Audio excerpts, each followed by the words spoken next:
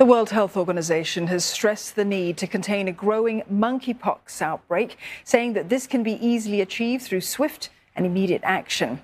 WHO also warns that there will be community spread, but it says that the pace of that spread will be slow, so there is currently no strong need for mass immunization. This comes as Finland confirms its first case of the virus, adding to some 300 confirmed and suspected cases in some 20 nations, the bulk of them in Europe. The spreading infections have triggered alarm, as the disease had mostly been confined to West and Central Africa. And for more, Rosie Burchard joins us live from Brussels. Rosie, the WHO certain that monkeypox outbreaks that they can be contained. What needs to be done, though?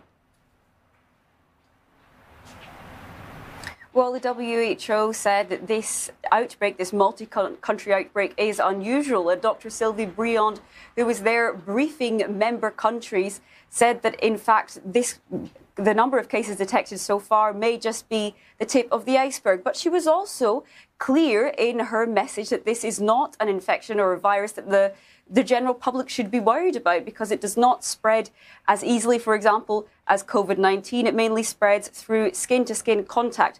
That's why WHO officials are recommending that governments take measures such as contact tracing, case investigation, and isolation. They also would like to see member countries trying to raise awareness among groups which might be more at risk when it comes to transmission, for example, healthcare or lab workers. And they've asked governments to keep communicating clearly to make sure that certain sections of the population do, are not stigmatized.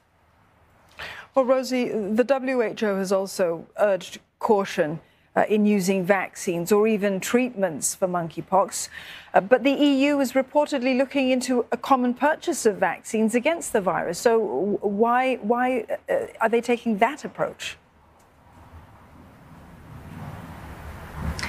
It's an interesting question, is one that is being discussed behind closed doors among EU member states now and in the coming few days. The WHO, as you said, was quite unequivocal in its recommendations. It said there is absolutely no recommendation for a mass vaccine rollout. The European Commission, that's headquartered in the building behind me, says that while the bloc is looking into joint vaccine purchases and procurements also of therapeutics, there is no plan to do any sort of widespread rollout across the general population. Now, the WHO has also recommended, says that there is no recommendation to use smallpox vaccines against monkeypox, but it does say that there could be some exceptions, exceptions to that. Overall, we see WHO officials really recommending also that there is an acceleration of research on monkeypox, and officials and experts from the countries where the virus is endemic are due to brief their counterparts from other countries to try and speed up and accelerate research here and help governments try and